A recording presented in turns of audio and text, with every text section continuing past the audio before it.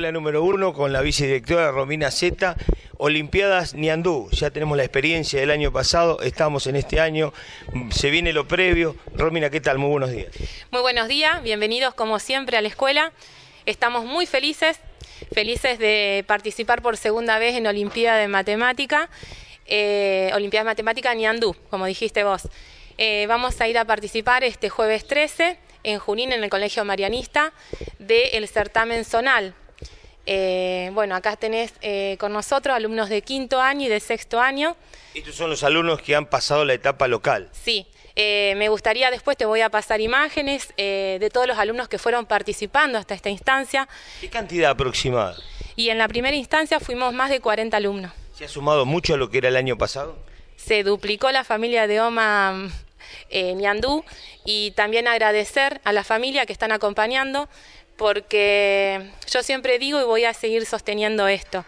Eh, es muy importante que ellos los acompañen porque eso es importante para ellos eh, venir en contraturno, vienen a practicar ejercicio, se quedan una hora, se quedan dos horas, no miran el reloj y bueno, hasta que sale el ejercicio o no sale, pero ellos vienen contentos. Y eso también es agradecer a la familia que están acompañando en este proceso. Creo que es algo que a lo mejor lo hacen a contraturno, desgastan un tiempo más, pero en el futuro le va a servir, porque ese aprendizaje que hacen fuera del horario lo van a sumar a, su inteligencia.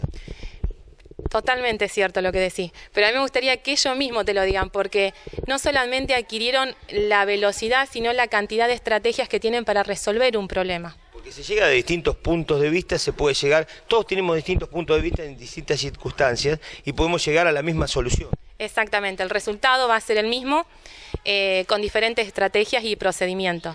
Y en matemáticas, en este certamen, no se evalúa solamente el resultado, sino las estrategias que ellos utilizan para llegar a ese resultado. Ellos tienen que mostrar cómo hacen para llegar. ¿Cómo lo resuelven? Cómo lo van resolviendo. Y ellos tienen muchísima creatividad que por ahí nosotros eh, como adultos no la vamos a ver.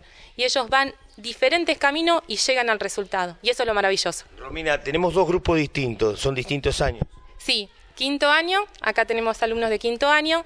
Me gustaría que, sí, que, que, hablen ellos. Me encantaría que se presenten y que, que cuenten un poquito. El nombre y el apellido de cada uno. ¿Cómo te llamas? Bautista y Pucho. Corina Los.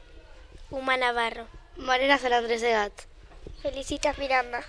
Francisco Montelone Martínez. Román López.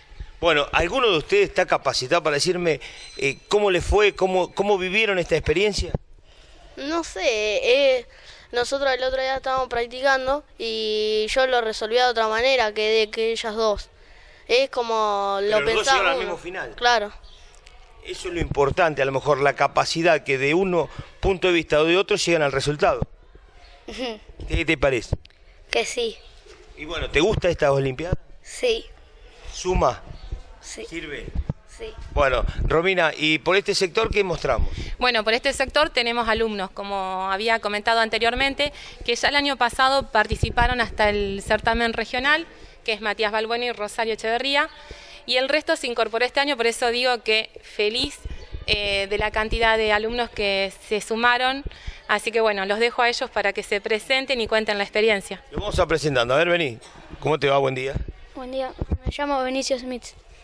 Buen día, soy Adriano Ferreira. Jonathan Giles. Santina Ríos. Matías Barbona.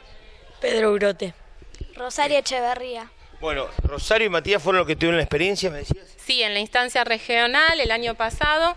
Así que bueno, eh, me encantaría que ellos cuenten la experiencia de compartir con otras ciudades, con otras localidades y, de lo que se siente y de lo que se vive en ese lugar.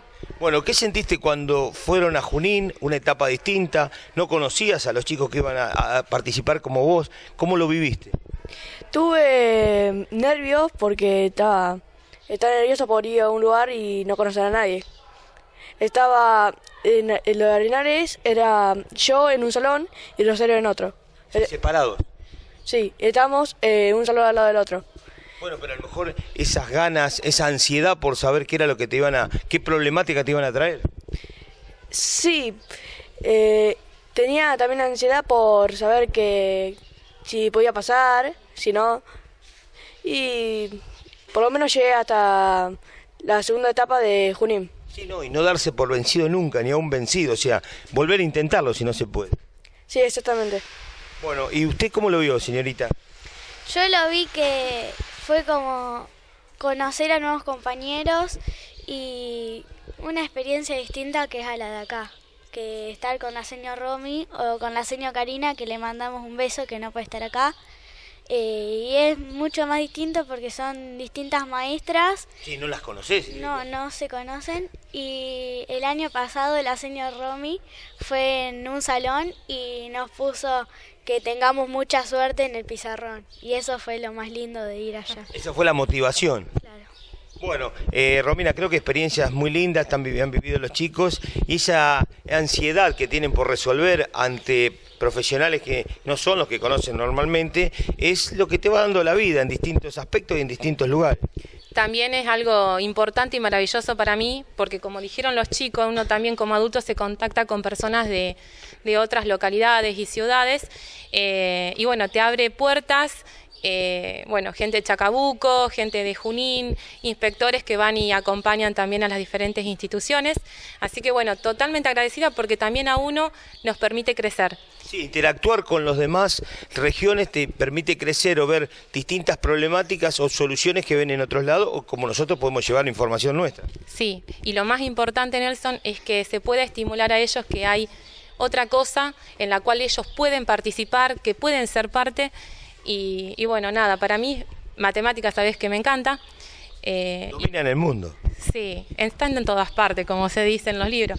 Eh, y estoy totalmente agradecida porque, bueno, agradezco a las señoritas que están con ellos, eh, la señora de Quinto, Melina, pero también agradezco inmensamente a Karina. Vos sabés que nosotros empezamos con este proyecto el año pasado.